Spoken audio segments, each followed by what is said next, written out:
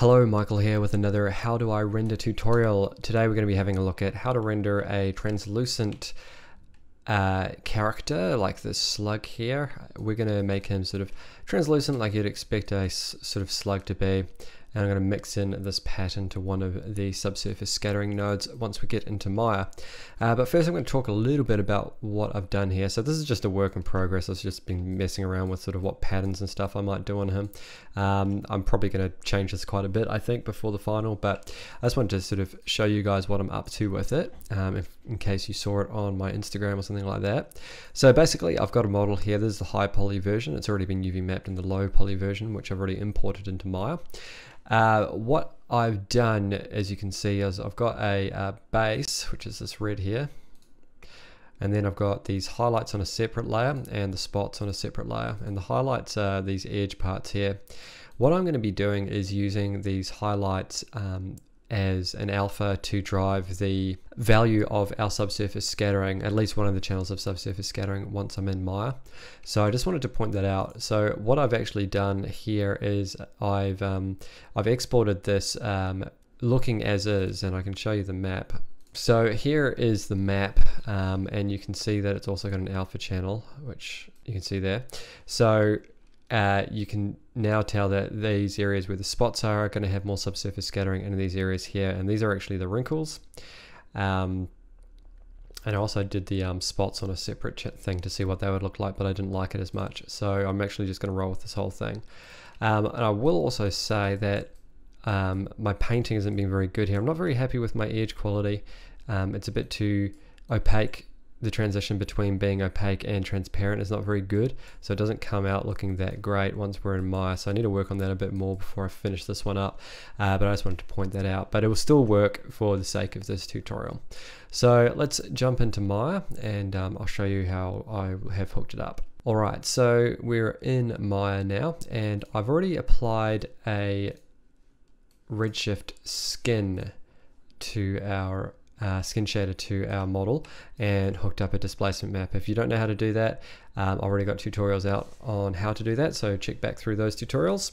Um, and yeah, so what I'm going to do now is I'm going to plug the color map that I've created into our mid scatter color. Um, and because basically what I'm doing, I'll show you, I've just taken a quick render already. This is just a skin shader as is. So it doesn't look bad actually. It kind of has made me think a little bit about how I might actually want to paint this slug up uh, I might actually do something a bit simpler than this more complex thing that I've got going. But yeah, I've already got the displacement hooked up. Um, but what I want to do is I want to have a shallow color, which is the top uh, skin layer.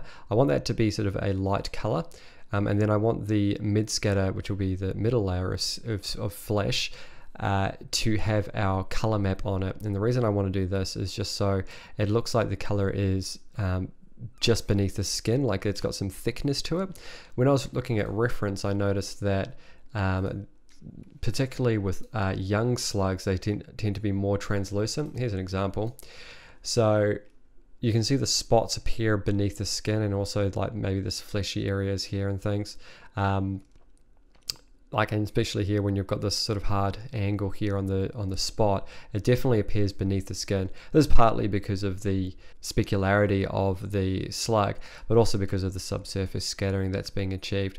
And you can see it's got a, um, a bit of glow to it from this um, light coming from above it. So we want to get something somewhat similar um, for this example. So what we're going to do is we'll bring in our um, we'll bring in our color for our mid scatter so go file open and open up open up that file. So that's that one that I showed you in Photoshop previously. So let's just take a quick render just so you can see what it looks like before I do anything to it.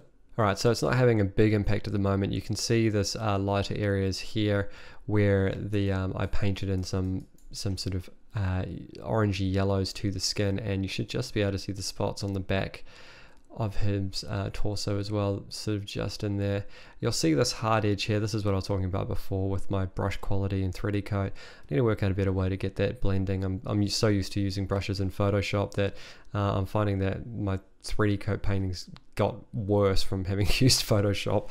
So I'm going to have to work on that a little bit. Um, but I can fix this a little bit. First we'll have a look at some settings though.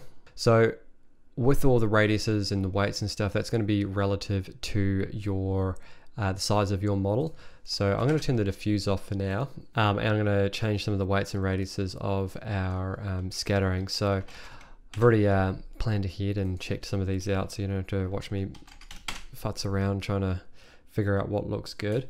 Um, so that's what I like for the single scatter. Basically, it's a it's um, fairly it's actually very thin because I really wanted the mid scatter to show through. With the uh, mid scatter, I'm actually going to use the alpha channel from our um, texture map and I'm going to plug that into the mid weight. If you want to expand this node here, you can do so by selecting and pressing 3 and they'll give you all the options. So now the alpha values are going to control the overall values of your subsurface scattering channel. And you can actually paint that in uh, manually if you want as well. So I did actually try this, but um, I wasn't getting a great result. So you can see that's sort of how I did it there. see that I need to get rid of that junk there, but I didn't get it. It wasn't it wasn't bad, but it wasn't great.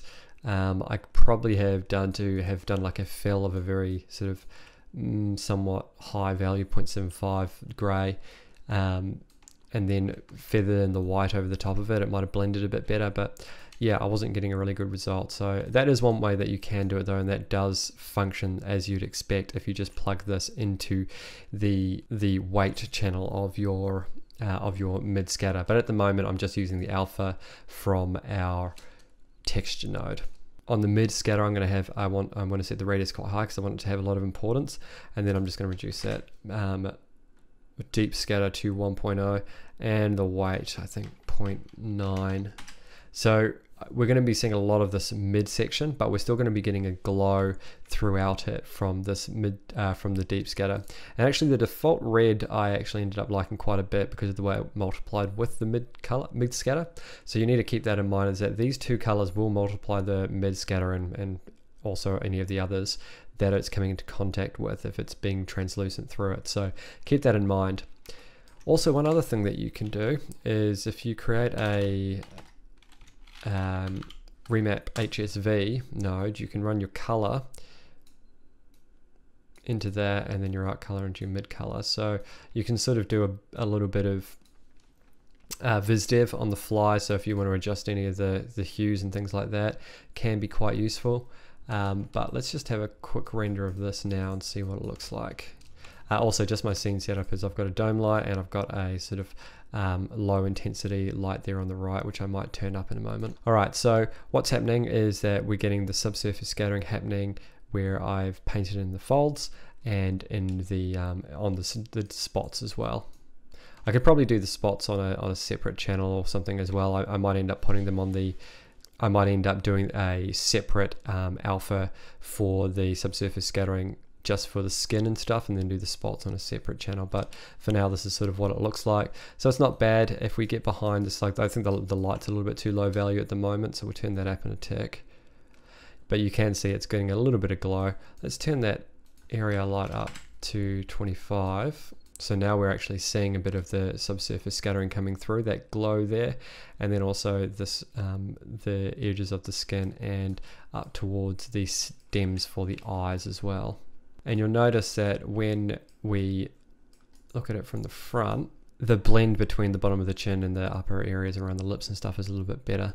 Uh, but overall, I'm not particularly happy with the way it's sort of the the brushstrokes are way too apparent. It wouldn't look bad if I could soften it a bit, but I need to go back in and, and, and work on this a bit more. So if you want to see how this sort of comes to fruition, uh, check out the um, check out my Instagram and you can see how that works out. And I'll let you all in on those secrets and how I finished it up, maybe on Facebook or something like that if you want.